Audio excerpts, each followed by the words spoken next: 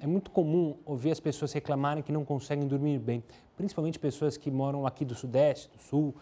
Por que, que isso acontece? Quem vai explicar é o Dr. Salomão Carui, médico do Departamento de Medicina do Sono do Hospital Israelita Albert Einstein. Doutor, obrigado pela participação aqui conosco. Primeiro, já começo, sempre um prazer conversar com o senhor. Eu já começo, é verdade isso? As pessoas sofrem é, com o calor ou é uma coisa mais mental, que todo mundo ouve assim, ah, eu não consigo dormir no calor e aí acaba adaptando para ele e fala, ah, eu também não consigo dormir? Boa noite. Primeiro, desejar a todos os telespectadores aí um feliz ano novo e um 2020 com boas noites de sono a todos. É, realmente, a qualidade do sono ela é afetada durante o período do verão por basicamente três motivos principais.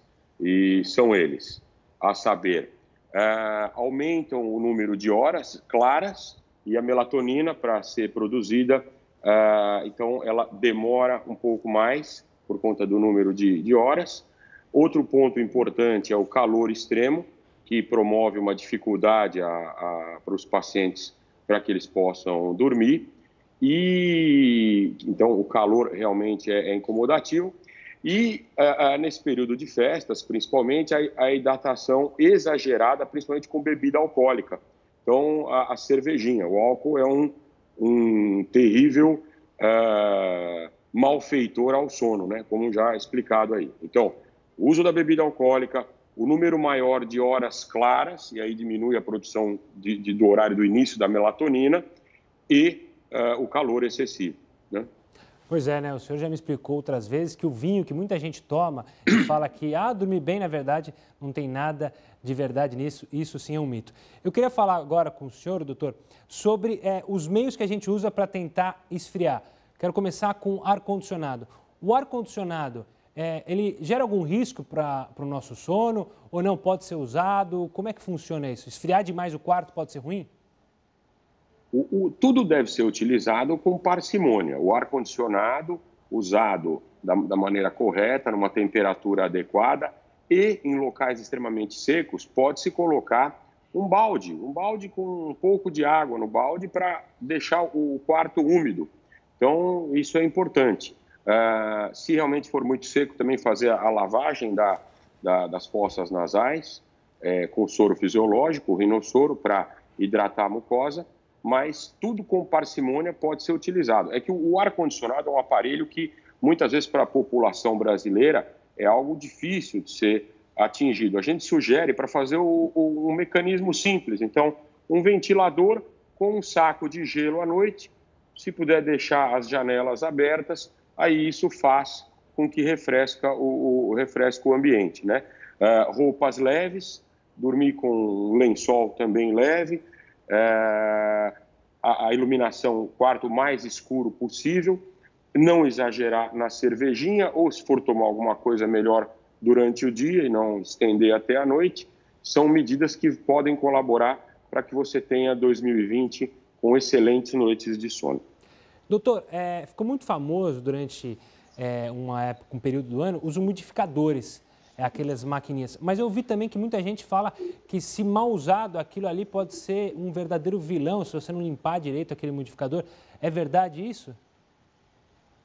Olha, o, a umidificação, o umidificador, é, ele, eu não recomendo. Na minha, na minha prática diária, não recomendo, porque ele umidifica durante o dia, é, durante a noite. E durante o dia, aquilo que ficou úmido, se não for higienizado corretamente, não bater sol adequadamente, vira fungo. E o fungo, então, traz doenças. Então, o umidificador não é algo saudável, não. Não, não recomendamos. Recomendamos, sim, fazer a lavagem das fossas nasais com soro fisiológico. Quem estiver uh, no litoral, tomar um banho de mar, lavar o nariz, a, a região respiratória com água do mar, que é extremamente saudável.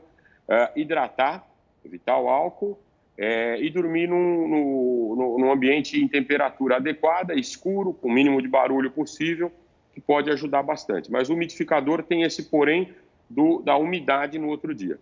Ah, legal. Então, corte aí da sua listinha umidificador. Doutor, no começo da nossa conversa, você falou da melatonina. Melatonina que no Brasil não é vendida é, nas farmácias, mas tem muita gente que compra via amigos que vão para os Estados Unidos e usa indiscriminadamente. É, eu queria que você falasse, pessoal que está nesse verão, falar, ah, vou tomar com a melatonina, que aí eu durmo tranquilamente, não passo esse calor. Quais são os riscos é. da melatonina? A, a, a, melatonina ela, ela é muito popular no mercado norte-americano e vendido em redes de supermercados, é, algumas drogarias, né? É, então é, é, um acesso muito fácil. Mas o que a gente recomenda é que passe em, um especialista médico do sono para que possa se fazer a avaliação e a necessidade da, da, da medicação para que use da forma correta.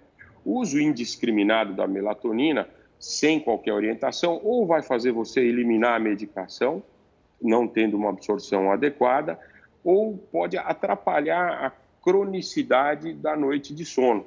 Então, é importante sob orientação. No Brasil, a Anvisa já liberou é, só que a, a, melatonina ela é produzida é, é, e deve ser feita em farmácias de manipulação.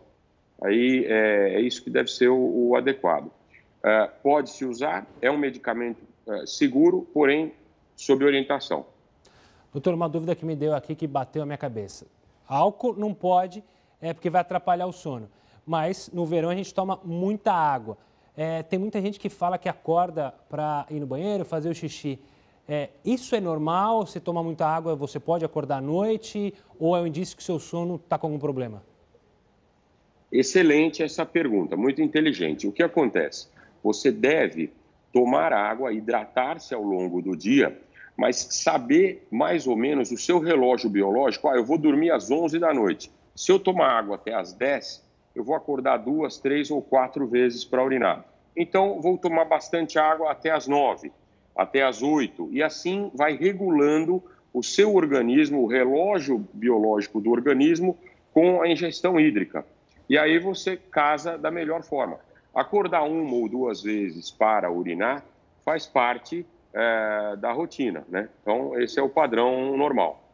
Doutor Salomão, obrigado mais uma vez por nos atender aqui na Record Imagina, News. Sempre à disposição, um excelente ano a todos aí, todos os telespectadores, a você, a toda a equipe, um prazer. Precisando, estamos às ordens. Um grande, um grande abraço. abraço uma feliz, boa noite. Feliz 2020 para você, para toda a sua família, para toda a sua equipe, doutor Salomão Carui, médico do Departamento de Medicina do Sono. Anotou aí? Então agora, quando você for dormir, anote tudo isso, tome cuidado para não exagerar na bebida alcoólica, ela vai atrapalhar seu sono e esqueça o umidificador o doutor avisou que ele, na verdade, pode se tornar um vilão.